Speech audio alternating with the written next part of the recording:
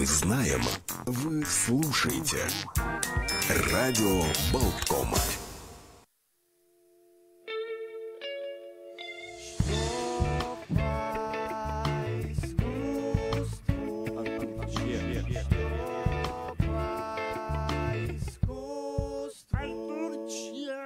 Здравствуйте, дорогие друзья! Четверг, 12 часов, радио Болтком. И я, Артур Чех, блогер-просветитель в программе «Что по искусству». Кто слушал на прошлой неделе наш выпуск, или смотрел трансляцию, или слушал подкаст, помнит, что у нас в гостях был психолог Эдгар Хритонченко, и мы обсуждали, почему люди любят искусство с точки зрения психологии. И вот это все меня вдохновило на то, чтобы сделать в ближайшие несколько недель небольшой цикл, который будет посвящен искусству и психологии. И ближайшие несколько выпусков я хотел бы посвятить психологии и современному искусству. Потому что нам нужно понимать, что психология, как и многие медицинские, не только науки, это достаточно молодое явление, которое открывается достаточно поздно. И сегодняшний выпуск я бы хотел посвятить фрейдизму и сюрреализму, потому что они возникли в одно примерно время, они неотрывны друг от друга, и, в принципе, именно явлением фрейдизма, теми открытиями, которые совершает Зигмунд Фрейд, и можно объяснить почти все достижения сюрреализма, и можно даже объяснить, почему мы сильно его так любим, особенно Сальвадор Дали. Не буду долгие вступления тут дальше разворачивать. Начну с того, что вообще я подразумеваю под фрейдизм. Я не буду сейчас сдаваться в подробную биографию Зигмунда Фрейда, можно, в принципе, это спокойно сделать сегодня в интернете и даже купить его книги. Я просто возьму за основу то главное открытие, которым будет пользоваться искусство сюрреализма, а именно противопоставление по Зигмунду Фрейду «я», моего сознательного, и «оно», моего бессознательного. Сверх-я мы затронем чуточку позже.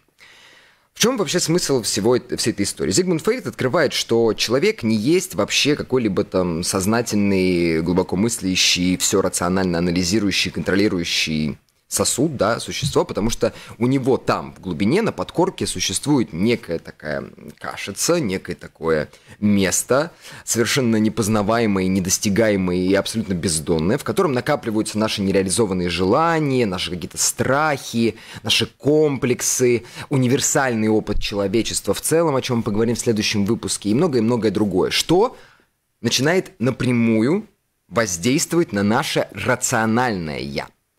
То есть то, что мы там в детстве что-то не реализовали, если у нас есть какое-то нереализованное желание в нынешнее, да, которое мы не сублимировали, а проглотили в связи с обстоятельствами и прочее, прочее, оно, конечно же, все впоследствии будет вылезать и влиять на наше поведение в сознательной нашей жизни.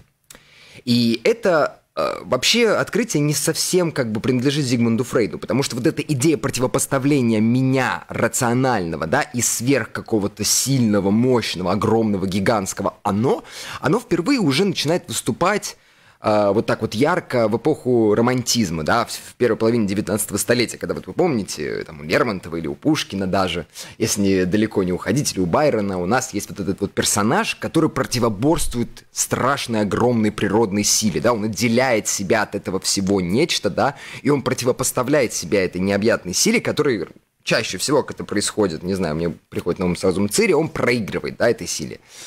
И э, эта мысль, которая родилась еще в эпоху романтизма, Фрейдом была доведена до абсолюта. Она, конечно, уже не совсем работает э, так, как она работала тогда, сто лет назад, и психо психология, и психиатрия уже далеко-далеко продвинулась вперед. Но сама вот эта вот идея борьбы противоположности, противопоставления, она очень сильно повлияла на общество и прям имела страшный просто резонанс, огромнейший взрыв в 1920-е годы. Вот, у нас, оказывается, сегодня такие э, вмешательства технические. Видите, это бессознательное, о котором мы говорим, оно просыпается и пытается влиять на наше сознательное поведение. Никуда мы от него не денемся. Но э, идея вот этого бессознательного, которая вообще начинает проникать активно во все сферы человеческой жизни, оно не только же как бы держится исключительно на человеческом поведении, да. Нужно понимать, что бессознательное также начало проецироваться в принципе на все жизненные процессы и в частности на процесс созидания того или иного произведения искусства, например. А, художники вообще очень много, и исследователи искусства, хотя искусствознание тоже все-таки наука молодая, они постоянно были одержимы вот этим вот вопросом, как происходит процесс создания искусства, что это за механизм, что это за нечто, которое заставляет человека комбинировать там, традиции, психологию, свою какую-то волю, свое творческое какое-то желание, да, в виде того или иного произведения искусства. Мы не будем сейчас пока что останавливаться только на живописи, на скульптуре или архитектуре. Если мы вспомним даже Платона, то мы вспоминаем, что вот Сократ в его диалоге и он, мало ли кто любит заниматься чтением диалогов Платона, там Сократ говорит о том, что как бы вот это вот сам процесс создания произведения искусства это некое боговдохновенное, одержимое состояние, которая никак на самом-то деле не вяжется с рациональным, да, с, с таким рассудочным, сухим, прямым и бытовым. И в целом, если мы будем разглядывать вообще этот процесс создания произведения искусства на протяжении всей истории человечества, мы столкнемся с тем, что постоянно э, процесс создания какого-либо значимого и важного произведения, он всегда был с какой-то точки зрения богоданным. Не знаю, возьмем то же самое Евангелие, да, вспомним, как Матфею является ангел и нашептовывает, что ему нужно, нашептывает, извините, что ему нужно записать в Священном Писании, и как ему лучше всего выставить Спасителя и передать вот этот вот сакральный опыт, оставшийся от Иисуса Христа. Вспомним, как Моисей, выйдя на, гору, на гору Синай, да, получает от десницы Божией вот эти вот 10 заповедей. Вспомним, как в средневековую эпоху люди творили, э, люди творили как бы по наущению Господню, да, и в любое произведение искусства, неважно, будь то храм, миниатюра, рукопись или еще что-нибудь в этом духе, это всегда тот момент, который надиктован именно высшей силой, потому что он отвечает какой-то определенной цели. И впоследствии это все также выражается и, допустим, в театрализованных действиях городских под названием «Мистерии», когда полностью разрушаются иерархические рамки, и все горожане в каком-то безудержном веселье вытворяют, точнее, воплощают евангельские заветы, господин становится рабом, раб господином, все перемешивается, и все люди находятся в бесконечном таком потоке, да, неистовства, какого-то безумия, мистерии, как они сами, в общем-то, это называли. Или в эпоху Возрождения, я могу продолжать, на самом деле, до бесконечности. Если кто-нибудь знает э, гравюру Дюрера «Меланхолия», где сидит такой ангел и мучается, что он не может постичь вот эту идею создания идеального искусства, то это тоже некая мощная, страшная, давлеющая над художником сила, которая заставляет его в процессе разрешения своей тоски вытворять все новые и новые э, произведения искусства. И так это, в принципе, все время в разных формах предстает вплоть до нашего времени. Да? Идея гения, посещающего того или иного творца, которая и разжигает в нем вот этот вот процесс создания произведения искусства. И, например, в эпоху просвещения, после эпохи барокко, да, это постепенно начинает отделяться от рациональной жизни. То есть в прямом смысле появляется как бы рацию, эго, и появляется вот это вот безумие, вот это вот слабоумие, да, вот это некоторое экстатическое состояние, которое э, захватывает того или иного творца, причем не мешая его рациональной стороне существования. Вспомним Рембранта, да, который был супер крутым гением, но при этом э, занимался торгашеством, да, он там скупал картины, перепродавал их и вел такую активную акционистскую деятельность, э, аукционную, извините. И вот эта вот идея разделения рационального и бессознательного, она находит свое воплощение именно в том, что при, приносит нам в искусство и в культуру Рембрандт. То есть его бессознательное начинает на себя все больше и больше обращать внимание, потому что именно это вот такая человеческая интерпретация того, что называется творческим гением, вдохновением, она наконец-то становится понятной и, наконец-то, становится в каком-то смысле даже подвластный. Это и больше не какая-то там структура, да, какого-то дяди, который сидит за ниточки дергает, вот это вдохновение. Это больше не Амур, который разбрасывает стрелы, да, и тем самым как бы внушает э, творцам вдохновение, неважно на почве любви или страсти или еще чего-либо, э, или еще чего-либо. Это именно тот момент, который заключен внутри нашего физического организма и в каком-то смысле даже нам подвластен идея совершенно революционная, да? И, наконец-то, с точки зрения именно человека, на котором уже давным-давно, вот в начале 20-го столетия было сконцентрировано все внимание, да, оно вот воплощает эти сложные-сложные задумки, которые проходили сквозь века. Но не нужно думать, что вот одна только публикация Фрейда сразу всем там сознание перевернула, все стали себя анализировать, все стали понимать э, или не понимать, как бы, ну, искать, как вообще на меня воздействует мой предыдущий опыт, как это все накапливается, как мне это использовать, как себя направлять в этом отношении. Нет, это все был очень долгий путь, и для того, чтобы это стало по-настоящему вот взрывом общественным, произошла некоторая череда событий, и в частности, так называемый кризис рационального – это такой интересный такой термин, который я вам сегодня предлагаю. Этот кризис рационального произошел, конечно же, на фоне замечательного события под названием Первая мировая война. Первая мировая война – это был просто тотальный шок-контент. Это был кринж мирового масштаба, который люди не могли нормально пережить, осознать. И самое главное, после этой войны мир уже никогда не мог быть прежним. Э, даже Вторая мировая война, казалось бы, которая намного более агрессивная, убийственная, страшная с точки зрения оружия, и с точки зрения идей пропагандируемых, да, и с точки зрения жертв, она намного страшнее, но она не так сильно видоизменила сознание человека, как это случилось в Первую мировую войну. Потому что представьте себе, вот вы как бы жили вы знали, что существует война, вы знали, что существует оружие, вы знали, что проливается кровь, которая там из политических или частных интересов это происходит. Но когда вдруг это все захватывает глобально весь земной шар, и когда еще начинают впервые использоваться такие типы оружия, которые на пустом месте человека способны превратить просто в кусок э, мяса или вообще от него не оставить ничего, кроме нескольких капелек крови, для вас это становится абсолютным шоком. Да, и вы видите перед собой опять это романтическое столкновение, что какая-то вам неведанная сила, как вот к вам, как частному лицу, да, вот эти политические лидеры, которые между собой что-то не поделили, решили, что весь мир должен э, погрузиться в кровопролитную войну, чтобы решить эти проблемы, да, для вас это все, ну, является абсолютным шоком. И самое интересное, что человек в этот момент достигает с рациональной точки зрения ну, максимальных успехов. Это технологический бум, это в целом рационализация человеческого поведения. Это в целом активное на самом-то деле разрушение многих-многих стереотипов, неважно, будь то религиозных, сексуальных, расовых и так далее. Человек, который, с одной стороны, казалось бы, своим рацию приводит мир, ну, к потрясающему расцвету, да, приводит жизнь к тому, что он становится максимально комфортной, интересной, вдруг берет и вытворяет, извините, вот такую страшную чернуху. Он сам себя ставит погружает просто в темнейший, в чем-то даже средневековый кризис, уничтожает самое себя, и еще причем делает это с помощью достижений своего рационального рассудка. И вот этот вот переоценка рацио, переоценка вообще способа существования и называется кризисом рационального.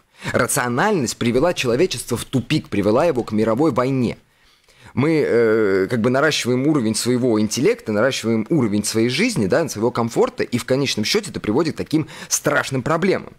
Не является ли в данном случае рацио той вещью, от которой мы должны отказываться, и от которой мы должны уходить в совершенно иные материи? То есть мы должны полностью развернуть свою жизнь для того, чтобы увести себя подальше от тех ужасов, которые воплотились глобально в виде Первой мировой войны. И вот 20 век, с одной стороны, вот приносит нам Фрейда с его открытием бессознательного, с другой стороны, приносит нам огромное количество людей, которые хотели бы отказаться от своего сознательного, столь активно ведущего, э, ведущего к кризису, оно соединяется, и происходит вот этот вот фрейдистский глобальный бум 1920-х годов. А,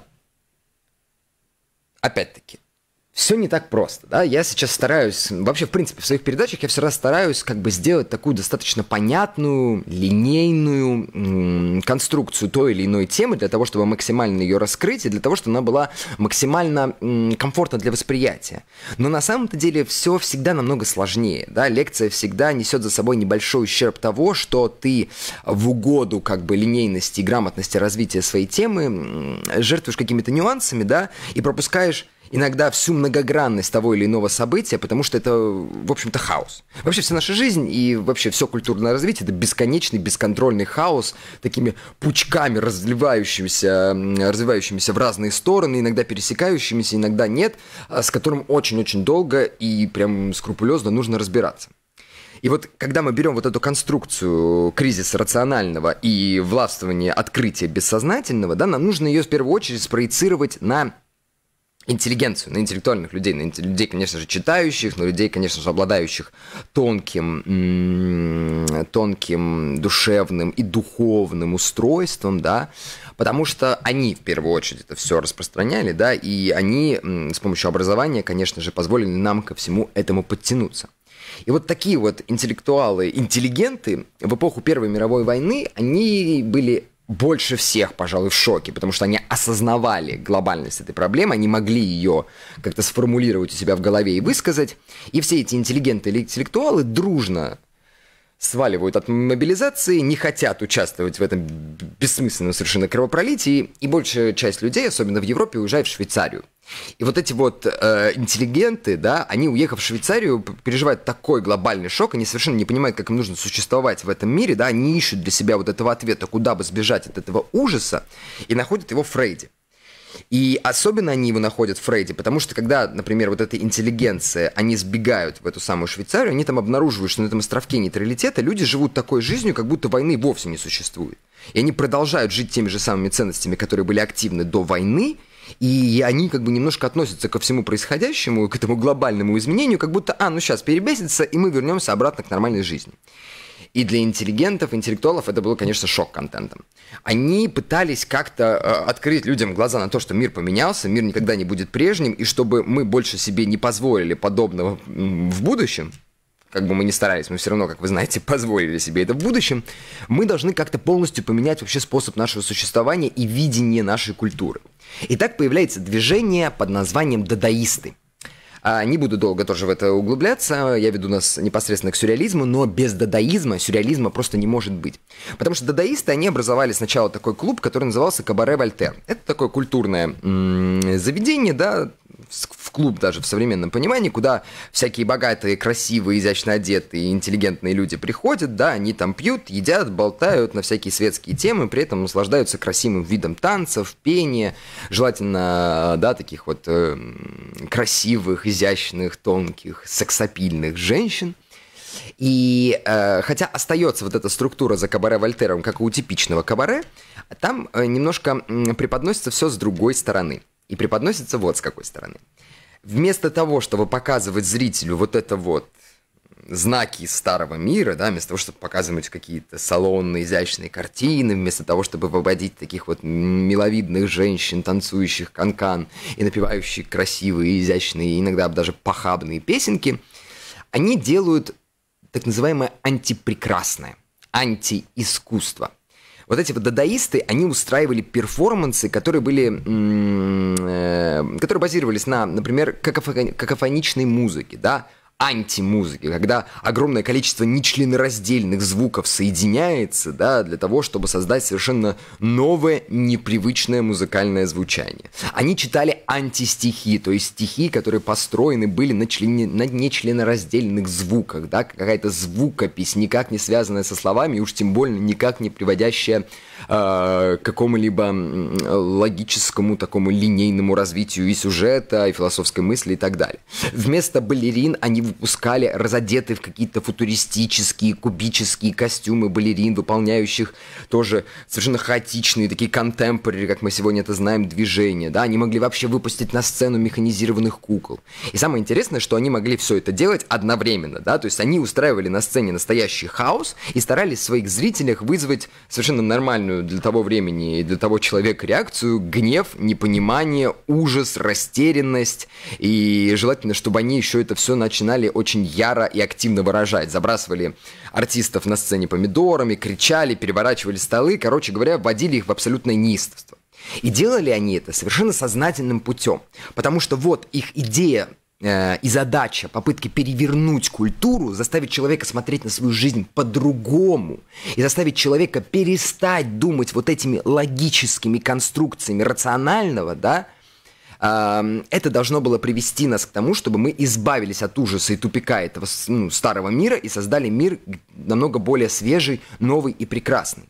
Ведь вот это рацио, которое руководит миром, это же конструкция человеческого сознания, это конструкция человеческого ума, это продукт культуры, который многовековой историей выверялся, пробовался, развивался, но в конечном счете пришел к тому, что он не работает – И это не, не какая-то богоданная структура мышления. Это не что-то, что нам было послано Господом, Богом или организовано космосом при Великом Взрыве. Это то, что мы выдумали себе сами. И мы, как люди, да, мы как существа, которым свойственно ошибаться – мы сами и загнали себя тупик. И вот сейчас наша задача полностью это разрушить. Нам полностью нужно переключить себя в совершенно иные материи, в совершенно иные сферы. И можно даже довести человека вот как бы до животного состояния, да, вот вот это состояние какого-то гнева, непонимания, отрицания, э, шокирующего такого удивления, чтобы из этого, вот на этой животной анархически построенной базе выстроить совершенно новое видение мира, выстроить совершенно новое мышление. И вот это открытие антиискусства, да, оно и проложит путь сюрреализму, и оно проложит путь бессознательному, оно проложит путь вот этой идеи как бы создания произведения искусства из вот этого сосуда оно, да, из вот этой вот ямки, где копятся и накапливаются мысли, чувства, комплексы, знания, опыт и прочие-прочие радости, и которые мы обязаны вывести вперед искусство. Дадаисты вообще, несмотря на то, что их очень сильно не любили, Кабара Вольтер очень быстро закрылась, они не закончили свою практику, и практика их стала очень и очень популярной. Впоследствии э, дадаисты во главе с Триста, Тристаном Цара, да, они переедут в Париж, и там будут устраивать уже более глобальные вот подобные шествия, и перформансы, и спектакли, и создавать искусство.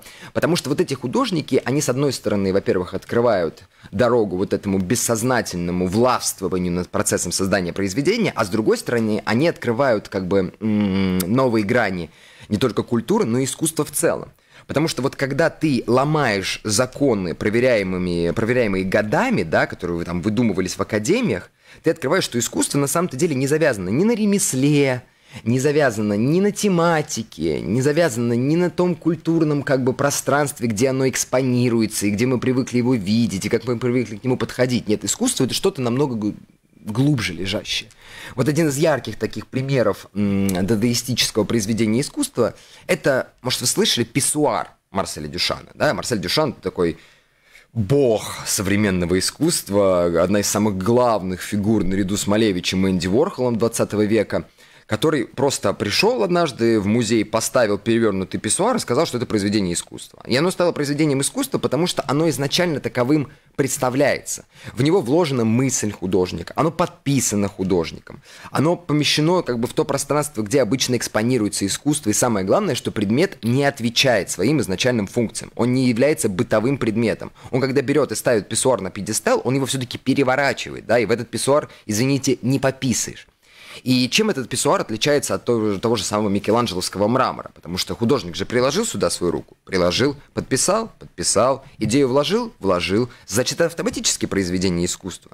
И вот это вот расшатывание рамок приводит к расшатыванию в том числе рамок искусства и пониманию того, что произведение искусства это не какой-то красивый, непонятно по чьим меркам предмет, да, а вообще любой предмет, который таковым называет художник, который туда вкладывает свою авторскую мысль, который это подписывает и который предлагает с этим познакомиться зрителю. Долго, конечно, дадаистическое движение, как и в принципе все движения современного искусства, как и в принципе тренды, начиная там с первой половины 20 века, ну, не прожило. И на смену вот этим вот дадаистическим, совершенно антикультурным, антиискусственным практикам и экспериментам с многими-многими разными способами создания искусства, с разными медиа и с разными смыслами, вкладываемыми в это искусство – эта практика умирает, и ей на смену придет сюрреализм. И вот сюрреализм не упускаем, друзья, сейчас из нашего внимания Фрейда. Вот сюрреализм Фрейда, конечно, вот поставит его на такой царственный пьедестал, сделает из него нового Зевса, да, олимпийского, сидящего на троне и покрытого золотом, и из него будешь, э, будет черпать просто все свои идеи. Главным идеологом сюрреализма был такой парень Андре Бретон. Э, он тусовался с Трицаном Цара, он тусил в этом сообществе дадаистов в начале 20-х годов во Франции. А сам он был как бы тоже связан очень тесно с психологией и с психотерапией. Он работал во времена войны медиком и лечил контуженных солдат. Да? И очень часто сталкивался с тем, что контуженный человек, он ведет себя как-то катастрофически странно. Ну, знаете, наверняка многие из нас там переживали операцию с анестезией, или, э, не знаю, не будем скрывать такие тонкости, бывало, что перепевал, да, и немножко терял контроль над своим рассудком и своим рассудочным поведением. И мы знаем, что в, в этот момент в нас открываются некоторые такие силы, некоторая такая модель поведения, которая не поддается рациональному контролю, и которую сложно заметить, э, заметить за нами в процессе такой рациональной, трезвой, чистой, э, такой схваченной нашими рамками жизни. И вот эта вот идея того, что откуда идет это непонятное поведение, совершенно несвойственное обычно человеку, оно его очень сильно заинтересовало, и так он вышел на Фрейда. И Фрейд вот там рассказывал ему, что в нас живет вот это оно, иное существо, да, вот этот иной сосуд с огромным количеством опыта, который живет совершенно не по рациональным законам и который на самом деле является намного более чистым, чем наш рассудок, намного более натуральным и намного более, как бы так сказать, конструктивным. И Андре Бретон начинает в эту историю погружаться и берет для себя вот это бессознательное, вот тут я подступаю к сверх-я фрейдовскому, да, как идеал человеческой жизни. Он тоже был из числа тех, которому не нравилось рациональное существование. И он понял, что самый лучший способ как бы избавиться от этого рационального существования – это погрузиться в иррациональное состояние, в бессознательное. Вытащить это бессознательное наружу, потому что в этом бессознательном как раз-таки заложено вот это мое сверхя, вот тот сверхчеловек, о котором еще Ницше говорил, который все может, который не приведет мир к кризису, который покажет миру совершенно потрясающие, доселе неизведанные э, идеи, да, произведения, изобретения. И то есть наша задача как людей – прийти к тому, чтобы воплотить в жизни в каждом отдельном человеке вот это вот бессознательное. И Андре Бретон, когда вот написал манифест сюрреалистов, он ни в коем случае на самом деле не проецировал это на искусство. Изначально в нем э, вот эта модель бессознательного сюрреалистического поведения, это была именно э, формула жизни – как каждый человек должен держать себя в обществе и как каждый человек вообще в целом должен существовать. Что вообще означает сюрреализм? Это надреальность запредельная реальность, некая реальность, которая намного выше, чем то, что мы видим нашим сознательным, примитивным, материальным рассудком. Вот тот рай, вот тот бог, которого так долго люди искали на протяжении нескольких тысячелетий, дойдя э, к европейской культуре 20-го столетия. И для того, чтобы пробудить в нас вот это вот бессознательное, он начинает активно выдумывать разные практики, разные тренинги, назовем их так, да? Вы наверняка слышали про такую штуку, как гипноз, да? Его Андре Бретон с удовольствием практиковал и предлагал практиковать всем. То есть, когда тебя с помощью различных манипуляций погружают вот в состояние э, бесконтрольности, да, отключают твою рацию и помогают тебе вскрыть вот эти вот все интенции, да, вот эти все движения, которые существуют внутри тебя в твоем бессознательном. Другие практики, например, несколько более, более бытовые, называются, например, автоматическое письмо.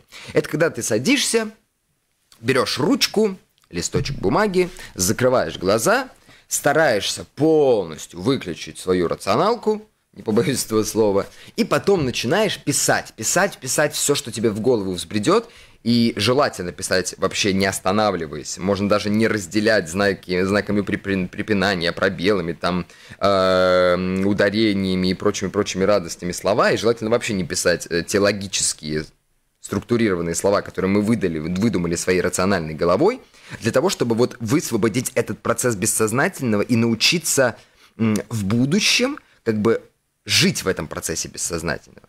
Дальше эта практика автописьма превращается в такую игру, которая называется «живой труп». Это когда практику автописьма эм, разрабатывают одновременно нескольких человек, неважно, будь то вместе или по очереди, да, и они как бы умерщвляя вместе свое рациональное, воссоздают, воплощают эту жизнь бессознательного в реальной жизни и как бы освобождают себя от вот этих вот норм и догм, которые мы сами себе долгое время культурой ставили. Вот поэтому эта штука и называется э, живой труп. И самое лучшее, что он предлагал делать своим последователям, да, всем людям вообще, потому что мы все должны перейти в э, существование сюрреалистическое, это нужно было так как бы себя вести, что ты просто, например, как Поле Люар, э, делаешь совершенно не поддающиеся логическому объяснению действия. Вот Поле Люар однажды его жена послала за хлебом, он вышел, и как-то э, что-то резко он включил свою рационалку, повернул, сел в поезд и уехал служить моряком на тропические острова. Да? Казалось бы, у него должна была быть выполнена одно э, одна миссия, одно задание, которое он полностью разрушает и с помощью своей вот этой сюрреалистичности, погружения в бессознательное, уносится вообще на другой край света. Его там потом искали, он чуть не умер. Короче, какая-то анекдотическая совершенно история, да. Никому не рекомендую сегодня так делать. И вот здесь только, вот здесь впервые возникнет необходимость искусства сюрреализма, как вот той самой практики, как одного из видов воплощения бессознательного сверхя в жизнь. Потому что вот эта практика автоматического письма, она переносится на искусство. Почему бы нет? Почему я могу писать ручкой, да, как бы создавать литературные произведения сюрреализма, но не могу то же самое сделать в живописи.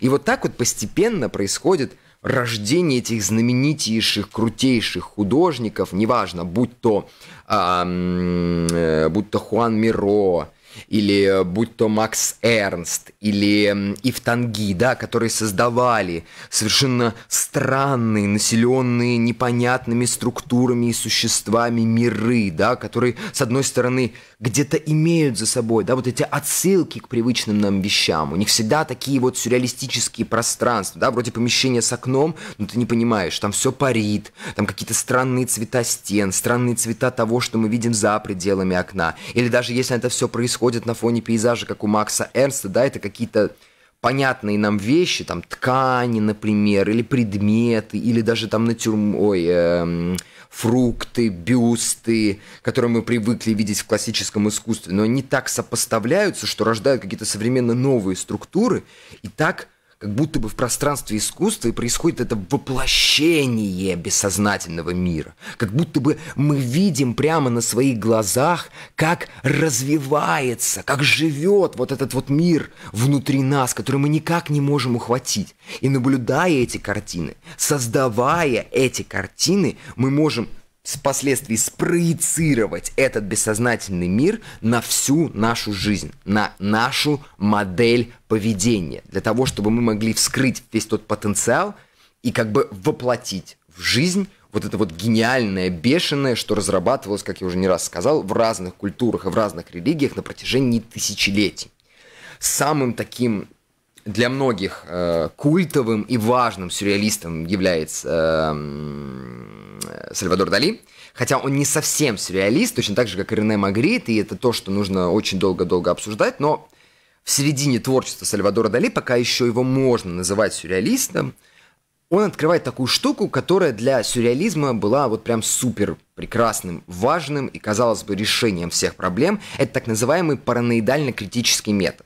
Это когда ты всеми возможными, доступными тебе, рациональными в первую очередь способами доводишь себя до состояния безумия, до состояния сумасшествия, да, до состояния, когда наружу вылезает вот это все твое бессознательное, начинает брать над тобой контроль, и в этот момент ты начинаешь существовать, творить произведение искусства, вести себя, э, взаимодействовать с публикой, взаимодействовать вообще в принципе с окружающим тебя миром. И вот до этого состояния бессознательного единственный возможный и доступный способ – это вот логически себя напрягать. Ну, вы наверняка слышали про вот эти потрясающие практики Сальвадора Дали, когда он заставлял себя э, не спать ночами, для того, чтобы ему являлись различные видения, чтобы он мог это все как бы впоследствии перенести из бессознательного в пространство своих холстов. Когда он выходил на публику и совершал, казалось бы, сумасшедшие действия, там, читал лекцию в водолазном костюме или надевал на свою голову тухлую рыбу вместо шляпы или делал из той же самой тухлой рыбы духи, чтобы у людей ввести вот это состояние дискомфорта, чтобы их шокировать, чтобы раскачать, расшатать вот эти их нормы и рамки, так сильно их ограничивающие и не дающие им влезть в это самое бессознательное. Вот всеми этими, на первый взгляд, сознательными практиками ты можешь себя ввести в постоянное состояние безумия, параноидально критический метод, да, вот паранойя, то есть бессознательная, и критика, то есть логическая, они вот так вот в способе создания искусства Сальвадора Дали соединяются и, по сути, должны были стать апогеем развития сюрреалистического искусства и сюрреализма в целом. Потому что, ну, как считал Андре Бретон, если все будут вести себя как Сальвадор Дали, то тогда весь наш мир погрузится вот в это бессознательное, и все будет очень-очень здорово. Потому что именно в бессознательном и находится вся правда нашего существования. Но тут, видите, случился такой парадокс, который впоследствии убьет в целом сюрреализм, да, его добьют другие виды искусства, о которых мы поговорим на следующих наших голосовых встречах. А именно главный парадокс, который убивает сюрреализм, это то, что когда ты сознательным путем, потому что ты не можешь полностью избавиться от своей культуры, ты не можешь полностью избавиться от способа твоего сознательного существования, потому что это тоже часть твоего мозга, это тоже часть твоего организма. И самое, что интересное, они выводят, что это тоже часть твоего бессознательного, да, твое сознательное это все-таки продукт, существующий не только под влиянием бессознательного, но как будто бы из него рождающийся, да, потому что без вот этого противопоставления, без того, чтобы была одна и вторая сила, которые постоянно борются, ну не может существовать противоположность, да, без, без своей противоположности. И вот с учетом того, что рацию является неотъемлемой частью нашего существования, и рацию является неотъемлемой частью пути и способа достижения этого бессознательного, получается, что сюрреализм – это несостоятельная идея, это несостоятельное движение, потому что оно в корне каждого своего действия себе противоречит. Даже если брать еще глубже, если ты пытаешься бессознательное превратить в константу твоего существования, то есть когда ты находишься в нем все свое время, все э, как бы всю свою жизнь, то получается, что, во-первых, это становится твоим новым сознательным, потому что ты в каком-то смысле ты бессознательно контролируешь, а если ты его не контролируешь, то тебя в принципе уже не существует, то есть как человека, да, как какой-то вот э, единицы жизни, да, принадлежащей этому миру.